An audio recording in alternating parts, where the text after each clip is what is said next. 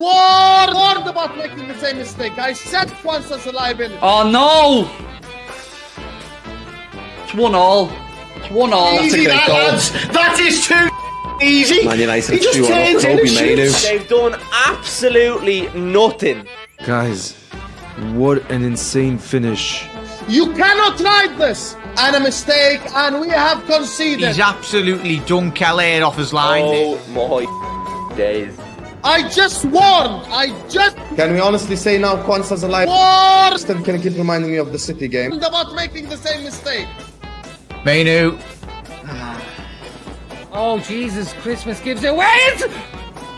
Oh my god, lads. We ain't winning no league, man. We ain't winning no league. I've been saying it. What are we doing, man? It's 2 1 United. Throw Quansah and then he goes on and does that. But to be fair, It's over. It's over. Enjoy, you guys. Enjoy.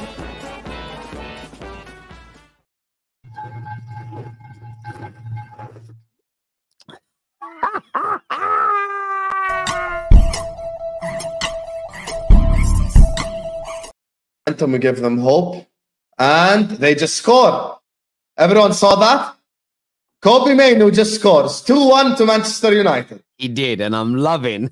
I'm loving the fake smile from Hassam. I'm going to pretend I'm calm, but really underneath, I'm seething. Kobbie Mainoo just scores 2-1 to Manchester United. It's o- Look at the smile. Look at the smile. over. It's over. Enjoy, you guys. Enjoy. We did. We loved it. It was amazing because we had no right with that performance three times this season. Liverpool haven't been able to beat United. And last year we were criticized for not stopping City from doing a treble, and we had opportunities to do that. We we've stopped Liverpool. We we we may have just stopped Liverpool's beautiful fairy tale ending to Jurgen Klopp's career. And out of a season of absolute turmoil and nonsense, that is a thing of beauty. Enjoy. Can we honestly say now Quansah's a liability, or are you still going to keep reminding me of the City game? I love how he's throwing that agenda out while he's trying not to explode. Like he's holding so much in here, Hassam. Enjoy, you guys. Enjoy. We ain't winning no league, man. We ain't winning no league. I've been saying it. Here I come. Oh, here I come. Oh. Oh, no, no, no, no. We're calling you out, Hassam. We are calling you out. Now you gotta believe us. Now you gotta believe us. Now you gotta believe us. We're gonna win the league. We're gonna win. Got you. We got you. You have been saying you're going to win the league. You have been confident it's going to happen. But what you're trying to do is deflect away from five point gap being lost. Just like in your first title race under Jurgen Klopp with City, when you had a nice gap at the top of the league, you threw it away. Liverpool seem to be allergic to title races in the Premier League era. Every time they've been in one, they've collapsed and thrown it away. And we've got to keep the same energy. Last year, Arsenal had a gap. They threw it away. They were criticized. But this whole, oh, we were never going to win it. We were the massive underdogs. Oh my God. The lies, the lies, the lies. Stop it. Get some help. Let me take a quick call. Dom's a Liverpool fan. Dom, very good morning. Good morning, Dom.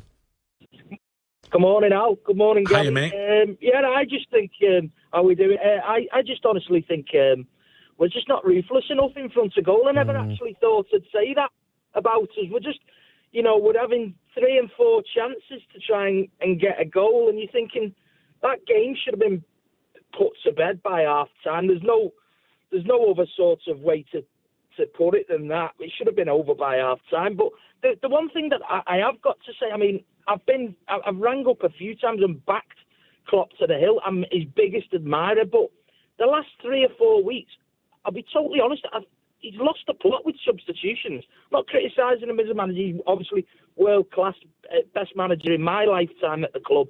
Um, but the substitutions and the team selections at times. Uh, give us your thoughts on that.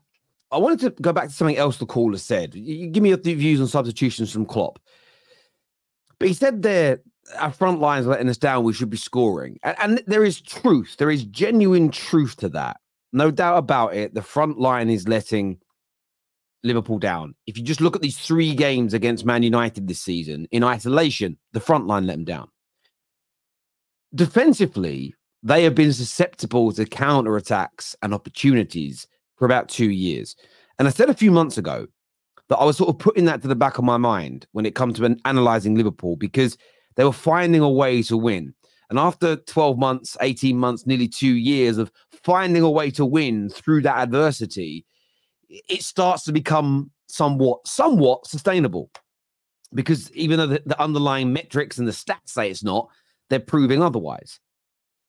But since the front line's gone off the boil, now the defensive element is being exposed because they're dropping points. And we know they've dropped points because they had a five point lead and they're now level on points with Arsenal, but Arsenal have a superior goal difference. So the front line not scoring goals and taking chances is really opening the door. They should have had four more points this season, Liverpool, against Manchester United alone, which puts them clear, which would have given them a nine point lead, essentially, or at least four more points than they have now.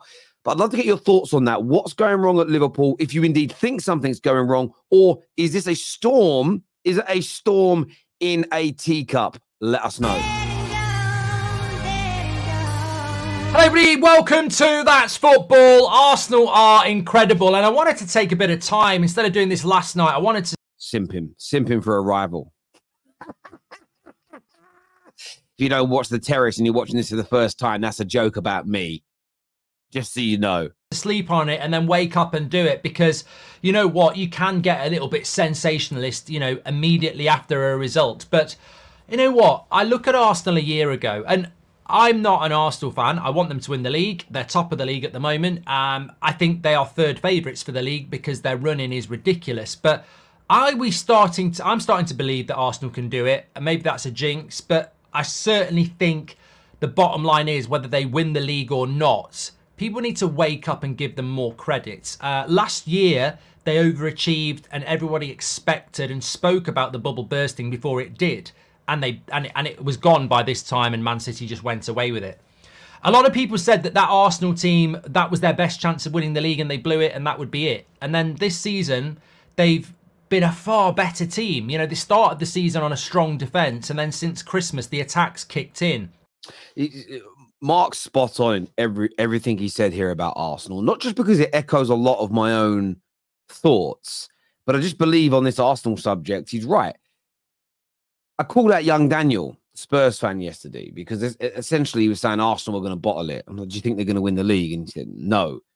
How can they bottle something that you don't think they're going to win or you don't think they have the capabilities to win?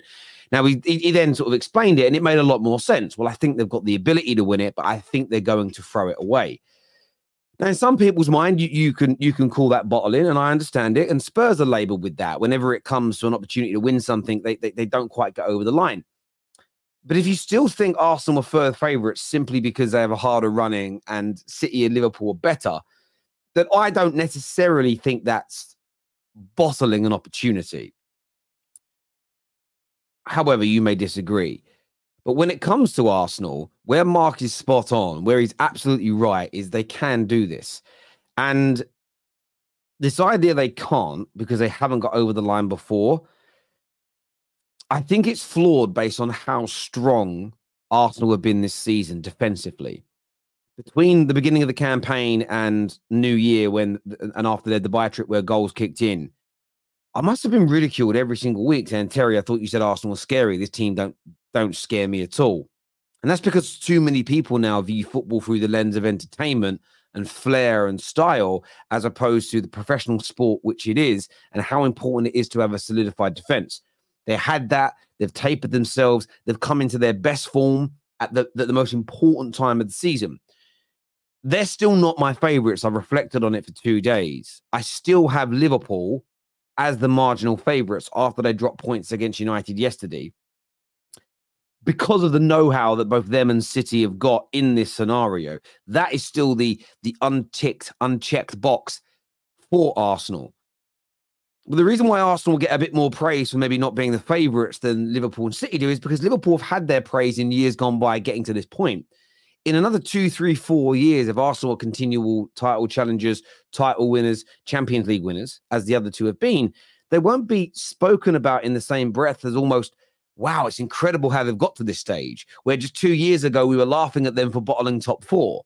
That's why there is more praise around Arsenal than you see towards Liverpool and City because they had their praise during their growth.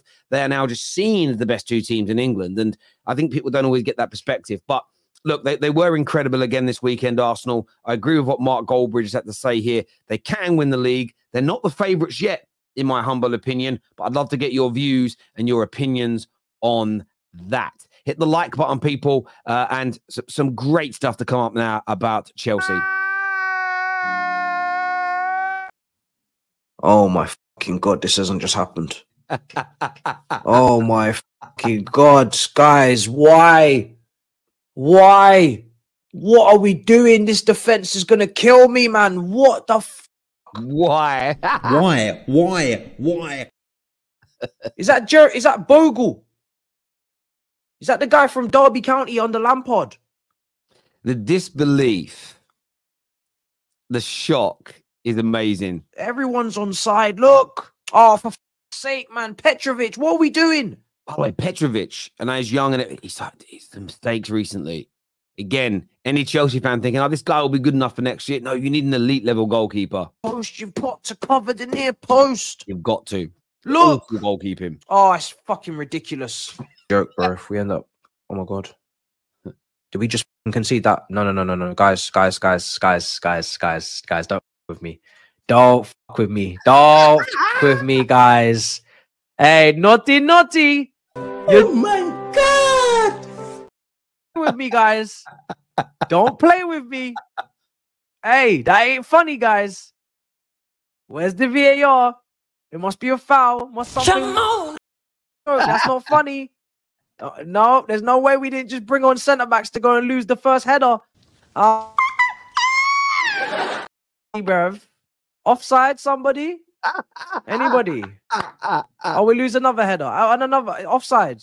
The copium, the copium, and the pain. And I'm not gonna lie. I'm not gonna lie. It was actually nice to see Chelsea drop some points late on. It made me feel a little bit better about the way they dunked on us the other day. But I, I don't get Chelsea. I mean, the players need calling out, but the support still for Poch I find absolutely astronomical. Let's take a little listen here to my bro, Carefree Lewis. It will play, I'm sure. Chelsea 2. What toxic positive narrative do you want me to spin for this one then? Do you know what's really weird? When I started saying like TPFs, toxic positivity fans, a couple of years ago, I can't believe how widespread that's become now. I can't believe how everyone uses it. I'm I'm I'm touched and honored. Sometimes I think I should copyright some of these phrases and then charge everybody like a couple of pound every time they use it. that's a joke, by the way. For anyone that gets offended, it's a joke. Don't take it seriously or literally. Anyway, back to Lewis. Tell me. Trust the process, they said. Believe in the manager. Pochettino needs time. It's time to go! He needs time. Every single one of you who has backed Pochettino through this, you have allowed the standards of this football club to drop. And I've got to a point where I'm just not debating with you lot anymore. If you stand by Pochettino through this performance, God help you. I, I agree. I agree with him, and I said this on the on on the terrace last night on on our full fan uh, full fan uh, highlight show. Is that everybody always? Yeah, but Arteta struggled in the beginning of the rebuild. Now look where they are. We should follow suit. Mikel Arteta had his first managerial job, and it was taking over an Arsenal team. Yes, who had won some FA Cups, but Arsenal fans all admitted back then they papered over cracks. This was an Arsenal team that had barely challenged for a league title win, what, 10 to 15 or so years, that had been absolutely on its knees for over a decade. And it was Arteta's first ever job. This was a Chelsea team who were champions of Europe a few years ago. In the first six months in his first full season under, under Tuchel, were looking really strong. Who have just, I know they haven't competed for a league title in a number of years now, but the regression has been so quick it should be a much quicker process to turn around and get back on track with the right football decision makers running things. Plus, Poch is a very experienced manager. This team would still be inconsistent with these young players, but they should be better drilled, better in possession, and better out of possession. Those things are being ignored. And the comparison to Arteta, I believe, is a false one. The clubs are in different situations, the managers have different experiences. And even with Arteta, when you go back and look now, you could still see what he was trying to do. You can't now.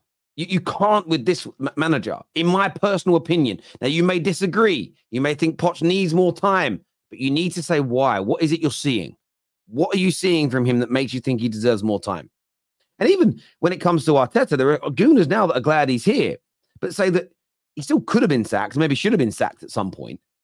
Doesn't necessarily mean they wouldn't be where they are now if they brought in a better manager who continued the quote unquote process. But look, I'd love to get your thoughts. I'd love to get your feelings on what Lewis has said here. Make sure you're subscribing to the Terrace. Check out the new channel, The Squad, as well. Brand new show on there, not been seen anywhere else. Go and check that out. Until next time, take care. Goodbye. God bless. And we'll see you on the top six show, 6 p.m. tonight. Peace.